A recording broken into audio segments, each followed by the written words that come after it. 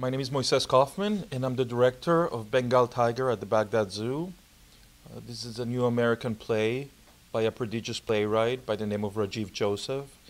And the thing that really uh, attracted me to this play, um, and, and I'm, I'm sent plays all the time, and uh, I have never read a play like this. My, my name is Rajiv Joseph. I'm a playwright, and my play Bengal Tiger at the Baghdad Zoo um, was inspired initially uh, back in 2003 from a very small Associated Press article in the New York Times about an incident at the Baghdad Zoo uh, shortly after the uh, fall of Baghdad. Uh, some bombs had blown open part of the zoo, part of the zoo had been looted, and so some American soldiers were placed there to guard the zoo.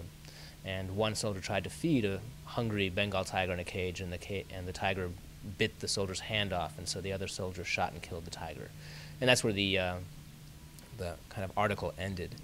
And uh, that was my starting point, and I sort of started a play based on that kind of bizarre incident that stuck out to me, even though there were so many atrocities and so many kind of heartbreaking stories happening around that time. Something about this tiger becoming a casualty in that conflict um, struck me. But I think it also um, will shed light on what happens when a society as we know it, or when society as we know it ceases to exist. We all have a certain number of parameters, laws, rules by which we exist.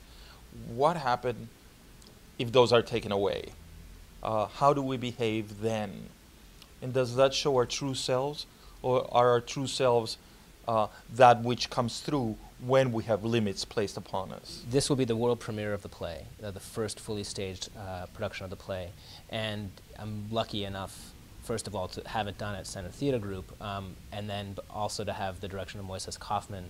Um, he and I have talked about the play. I'm a great admirer of his work, and I think that he um, is, you know, the play is in extremely capable hands with him. He's going to really, I think, I'm excited to see what he does with it and see how this, this play expands visually on, on a stage such as the Kirk Douglas. I think Rajiv Joseph is truly one of our best new writers in America. I think he's uh, a real genius, actually.